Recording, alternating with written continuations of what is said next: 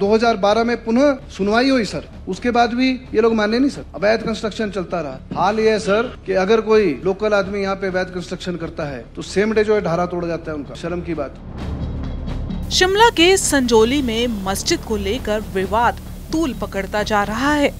दो समुदाय के युवकों में लड़ाई के बाद इस मस्जिद को गिराने की मांग तेज हो चुकी है। ये मांग हिंदू संगठन उठा रहा है। आरोप लगाया जा रहा है कि ये मस्जिद अवैध रूप से बनाई गई है, जिसके चलते आज शिमला में भाजपा कार्यकर्ताओं, हिंदू संगठनों और स्थानीय लोगों ने संजोली मस्जिद के कथित अवैध निर्माण के खिलाफ शिमला में विरोध प्रदर्शन किया। आपको बता दें, ये मस्जिद उन्नीस सौ सैंतालीस से पहले की है और इसमें दो मंजिल बिना अनुमति के बनाए गए हैं। इस पूरे मामले को लेकर संजोली में माहौल काफ़ी तनावपूर्ण हो चुका है। और इस पर भाजपा कार्यकर्ता अंकुश चौहान का कहना है कि ये मस्जिद अवैध बनी हुई है। मस्जिद की चार मंजिलें अवैध हैं। दस साल हो गए हैं। इस मस्जिद पर कार्रवाई क्यों नहीं हुई है? ये अवैध मस्जिद गिरनी चाहिए। का जो मामला है, जो ये मस्जिद है, ये अवैध बनी हुई है, जिसमें कि कल अनिरुद्ध सिंह जी ने भी विधानसभा में अपनी बात रखी है। ये चार मंजिलें इसकी अवैध है। अगर यह हमारा आधा इंच छज्जा भी बढ़ता है उसे तुरंत तोड़ दिया जाता है। दस सालें हो गई है ये, इस मस्जिद पर कार्रवाई क्यों नहीं हो रही है? और हम चाहते हैं कि अवैध जो मस्जिद है, ये यहाँ पर गिरनी चाहिए, ये हमारी मांग है। जानकारी के मुताबिक संजोली में बाज़ार के ठीक साथ ये मस्जिद बनाई गई है और इसके दो मंजिलें अवैध हैं।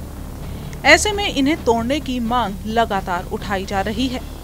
बीते रविवार को यहाँ पर प्रदर्शन हुआ था और अब इस मामले ने काफ़ी तूल पकड़ ली है। ऐसे में सरकार ने किसी भी तरह की अनहोनी से बचने के लिए संजोली में पाँच किलोमीटर के दायरे पर पुलिस बल की तैनाती की है। शिमला के संजोली में मस्जिद तोड़ने को लेकर हिंदू संगठन अड़े हुए हैं। कांग्रेस के मंत्री भी मस्जिद को तोड़ने की मांग उठा रहे हैं। चार दिन पहले हिंदू संगठनों ने रैली निकाली थी, जिसमें शिमला नगर निगम के कांग्रेस के तीन पार्षद भी शामिल हुए थे और मस्जिद के बाहर धरना प्रदर्शन किया गया था। और मस्जिद के निर्माण को गिराने की मांग तक उठी थी। इस विवाद को देखते हुए सीएम सुक्खू का बयान भी अब सामने आया है। मस्जिद विवाद पर प्रतिक्रिया देते हुए सुक्खू का क्या कहना है, आपको सुनाते हैं। देखिए, कोई भी सरकार का मंत्री ने ऐसा बयान नहीं दिया होगा। प्रदेश में सभी नागरिक एक सम्मान है। प्रदेश में सभी का धर्मों का सम्मान है। और मैं ये कह सकता हूँ कि जो भी कानून व्यवस्था को अपने हाथ में लेगा, हमारी सरकार कड़ाई से उसका पालन करेगी। कानून व्यवस्था को हाथ में लेने का किसी के पास कोई अधिकार नहीं है। क्या कारण रहे हैं कि क्यों ऐसी बात कर रही है? इस पर हमने गहनता से विचार विमर्श किया। कल शहरी विकास मंत्री ने भी इस पर अपना बयान दिया है।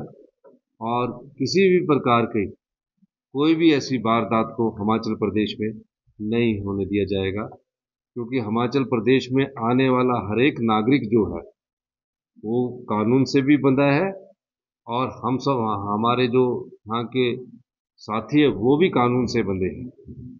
इसलिए ये जो प्रोटेस्ट हो रहे हैं, ये प्रोटेस्ट उनका है पीसफुली प्रोटेस्ट हो, वो हम उसका सम्मान करते हैं, लेकिन किसी भी प्रकार की कानून व्यवस्था को तोड़ने की इजाज़त चाहे वो कोई राजनीतिक नेता है, चाहे कोई वो कार्यकर्ता है, चाहे किसी पार्टी का समर्थक है, उनको नहीं है।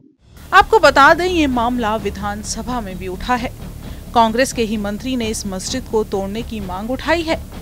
कांग्रेस सरकार में मंत्री अनिरुद्ध सिंह ने मस्जिद को तोड़ने की मांग उठाई और बाहर से आने वाले मुस्लिम समुदाय के लोगों पर नज़र रखने तक की मांग उठाई है।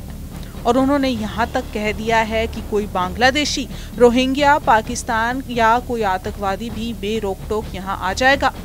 पंचायती राज मंत्री अनिरुद्ध सिंह का कहना है कि किसी भी धार्मिक स्थल का मामला नहीं है। ये वैध और अवैध निर्माण का मामला है। 2010 में इसका निर्माण शुरू हुआ था और यहाँ पर पहले दुकान हुआ करती थी। इस मामले पर कई बार नोटिस भी दिए गए, लेकिन यहाँ पर जो निर्माण हुआ है वो 6,750 स्क्वायर फीट तक पहुँच चुका है। ये ज़मीन हिमाचल प्रदेश सरकार की है।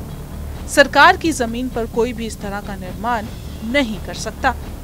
आपको बताएँ कि शिमला में एनजीटी ने ढाई मंजिल से ज़्यादा निर्माण की इजाज़त नहीं दी है और यहाँ पर कांग्रेस और भाजपा के राज में इस मस्जिद के निर्माण कार्य चलता रहा लेकिन किसी ने कोई कार्रवाई नहीं की। अहम बात यह है कि नगर निगम प्रशासन के पास मामले की शिकायत लंबित है और शनिवार को मामले में सुनवाई होगी। बहरहाल, संजोली में मामला काफ़ी गरमाया हुआ है। हिंदू, मुस्लिम दोनों संगठन आमने सामने हैं। अब देखना होगा प्रशासन इस पर क्या कार्रवाई करेगा।